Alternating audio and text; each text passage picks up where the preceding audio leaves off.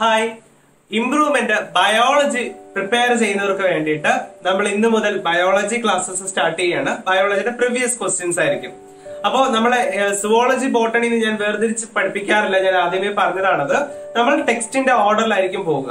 അപ്പൊ ആദ്യത്തെ ചാപ്റ്റർ ആണ് ലിവിംഗ് വേൾഡ് ഒത്തിരി കാര്യങ്ങളൊന്നും പഠിക്കാനില്ല. ഒരു ചോദ്യം മാത്രമേ നിങ്ങൾക്ക് അതിനകത്ത് നിന്ന് പരീക്ഷയ്ക്ക് വരാറുള്ളൂ. ആ ഒരു ചോദ്യം വളരെ ഈസി ആയിട്ട് നിങ്ങൾക്ക് എഴുതാനും സാധിക്കും. വളരെ കുറച്ച് കാര്യങ്ങൾ മാത്രം പഠിക്കാനുള്ള ഒരു ചാപ്റ്റർ ആണത്. അപ്പൊ അതുകൊണ്ട് തന്നെ വളരെ കുറച്ച് ക്വസ്റ്റ്യൻസ് നമുക്ക് ഡിസ്കസ് ചെയ്യാനുള്ളൂ. എന്നാലും നമുക്ക് ഇന്ന് തന്നെ അത് തുടങ്ങി വെക്കാം. ബയോളജിക്കൽ ക്ലാസിഫിക്കേഷന്റെ ക്വസ്റ്റ്യൻസ് നാളെ അപ്ലോഡ് ചെയ്യുന്നതായിരിക്കും. ഒത്തിരി പേര് എന്നോട് പറഞ്ഞതനുസരിച്ച് ഞാൻ ആദ്യത്തെ മൊഡ്യൂൾ എക്സ് ആദ്യത്തെ മോക്ക് ടെസ്റ്റ് അടുത്ത സൺഡേയിലേക്ക് മാറ്റിയിരിക്കുകയാണ്. കാരണം നമ്മളിപ്പോ ഓരോ ചാപ്റ്റർ വീതമല്ലേ നമ്മൾ പ്രിവ്യസ് ചെയ്ത് തീർന്നിട്ടുള്ളൂ. അപ്പൊ അതുകൊണ്ട് കുറച്ചുകൂടി ചാപ്റ്റേഴ്സ് വരട്ടെ. അപ്പോഴല്ലേ ഒരു റിവിഷനുള്ള ഒരു സാധ്യത വരുന്നുള്ളൂ. അപ്പൊ അതുകൊണ്ട് അടുത്ത സൺഡേ ആയിരിക്കും നമ്മുടെ മോക്ക് ടെസ്റ്റ് സ്റ്റാർട്ട് ചെയ്യുന്നത്. അപ്പൊ നമുക്കിന്ന് ലിവിംഗ് വേൾഡിൽ ചോദിച്ചുള്ള പ്രീവിയസ് ക്വസ്റ്റ്യൻസ് വേഗം ഡിസ്കസ് ചെയ്യാം. എളുപ്പമുള്ള ചോദ്യങ്ങളാണ് എല്ലാം തന്നെ. ആദ്യത്തെ ചോദ്യം. Rearrange the following taxonomic categories in the correct sequence ഇത് രണ്ടായിരത്തി പതിനെട്ട് പത്തൊൻപത് രണ്ടായിരത്തി പതിനേഴ് പതിനാല് ഒക്കെ ഒത്തിരി വർഷം ചോദിച്ചിട്ടുള്ളതാണ് ആ ടാക്സോണമിക്കൽ ഹയറാർക്കി ഓർഡർ എന്ന് പറയുന്നത്. വളരെ ഈസി ആയിട്ട് പഠിച്ചു വെക്കാവുന്നേ ഉള്ളൂ. നിങ്ങൾക്ക് എല്ലാവർക്കും അത് ബൈഹാർട്ടഡ് ആയിരിക്കും. എന്നാലും ഞാനൊന്ന് എഴുതി തന്നെ ഒന്ന് പറഞ്ഞുതരാം. ആദ്യത്തേത് kingdom then phylum or division അനിമൽസിനാണ് ഫൈലം എന്ന വേർഡ് നമ്മൾ പ്ലാന്റ്സിന് ഡിവിഷൻ ആണ് യൂസ് ചെയ്യുന്നത്. Then class order family genus species arrow the ഇങ്ങനെയാണ് മുകളിലേക്കാണ് ആരോ പോകുന്നത്. ഓക്കെ അപ്പോ സ്പീഷീസുകൾ ചേർന്ന് ജീനസ് ജീനസുകൾ ചേർന്ന് ഫാമിലി ഫാമിലി ചേർന്ന് ഓർഡർ ഓർഡർ ചേർന്ന് ക്ലാസ് ക്ലാസുകൾ ചേർന്ന് ഫൈലം ഓർ ഡിവിഷൻ അത് ചേർന്നിട്ടാണ് kingdom so this is the order ഒത്തിരി വർഷം ചോദിച്ചിട്ടുള്ളതായതുകൊണ്ട് തന്നെ കൃത്യമായിട്ട് ഇത് പഠിച്ചു വെച്ചിരിക്കുക. തെറ്റിക്കരുത്. Kingdom phylum or division class order family genus species okay so next question ഇത് ഇതേ ക്വസ്റ്റ്യൻ രണ്ടു മൂന്ന് വർഷം റിപ്പീറ്റ് ചെയ്തിട്ടുണ്ട്. അപ്പൊ റിപ്പീറ്റ് ചെയ്തത് ഞാൻ വീണ്ടും വീണ്ടും അത് വായിക്കേണ്ടല്ലോ. സെയിം ക്വസ്റ്റ്യൻ തന്നെയാണ് പല രീതിയിൽ ചോദിച്ചിട്ടുണ്ടെന്നേ ഉള്ളൂ.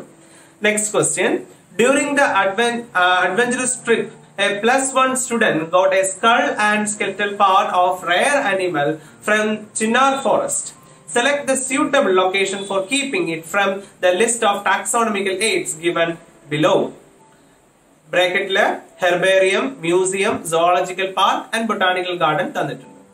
സോ ഈ ക്വസ്റ്റ്യൻ പറഞ്ഞിരിക്കുന്നത് ഒരു കുട്ടി ഒരു സ്ഥലത്തേക്ക് പോയപ്പോ അവിടെ കുറച്ച് റെയർ ആയിട്ടുള്ള ഒരു ആനിമലിന്റെ ഫോസൽ പോലെ കുറച്ച് സ്കള്ളും കുറച്ച് സ്കെറ്റൽ സിസ്റ്റം ഒക്കെ കിട്ടി. അപ്പൊ അത് എവിടെയാ സൂക്ഷിച്ചു വെക്കേണ്ടത്? ഇതാണ് ചോദ്യം.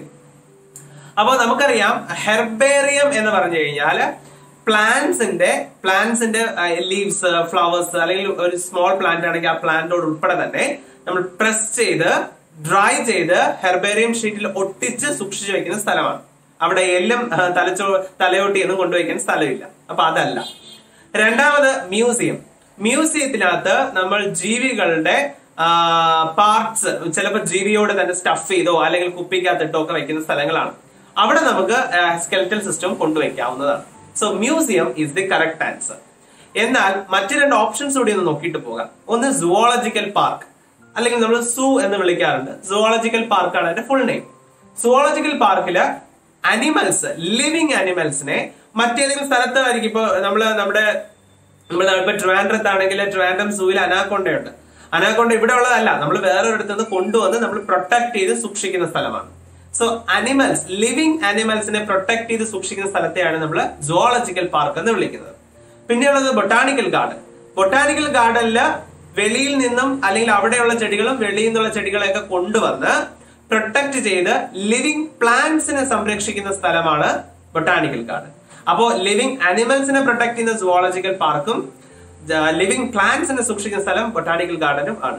സോ ഇത്രയും അതിന്റെ കൂടെ തന്നെ പഠിച്ചു വെക്കാം ഓർത്തിരിക്കുക ടാക്സോണമിക്കൽ എയ്ഡ് എന്ന് പറയുന്ന ടോപ്പിക് വളരെ ഇമ്പോർട്ടന്റ് ആണ്. അതിൽ നിന്നും ഒരു ക്വസ്റ്റ്യൻ നമുക്ക് ഷുവറായിട്ടും പ്രതീക്ഷിക്കാവുന്നതുമാണ്. അപ്പൊ ഇതെല്ലാം കൃത്യമായിട്ട് മനസ്സിലാക്കി വെച്ചിരിക്കാം next question complete the table using the suitable terms അപ്പൊ അവിടെ നമ്മുടെ നമുക്ക് ആകെ നാല് ആൾക്കാരെയാണ് ഡീറ്റെയിൽ ആയിട്ട് പഠിക്കാനുള്ളത്. മസ്ക ഡൊമസ്റ്റിക്ക നമ്മുടെ ഈച്ച house fly then mangifera indica നമ്മുടെ മാംഗോ ട്രീ മാവ്. പിന്നെ നമുക്ക് പഠിക്കാനുള്ള വീറ്റ് ട്രിറ്റിക്കം ഏസ്റ്റിവം വീറ്റിനെ കുറിച്ച് പഠിക്കാനുണ്ട്. പിന്നെ ഹോമോസാപ്പിൻസ് നമ്മളെ കുറിച്ച് പഠിക്കാനുണ്ട്. സോ ആ നമ്മുടെ കുറിച്ചുള്ള ചോദ്യമാണ് അവിടെ വന്നിരിക്കുന്നത്.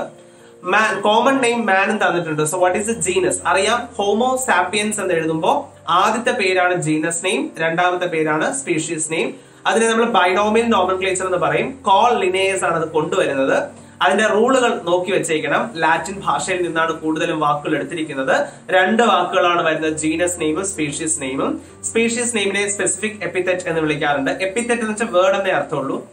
അപ്പോ ഈ ബൈനോമിയൽ നോമൻക്ലേച്ചറിനകത്ത് നമ്മൾ പേര് എഴുതുമ്പോൾ സ്പേസ് ഇട്ടാണ് എഴുതേണ്ടത്. ആദ്യത്തെ വാക്ക് ക്യാപിറ്റൽ ലെറ്ററിലാണ് സ്റ്റാർട്ട് ചെയ്യുന്നത്. രണ്ടാമത്തെ വേർഡ് സ്മോൾ ലെറ്ററിലാണ് സ്റ്റാർട്ട് ചെയ്യുന്നത്.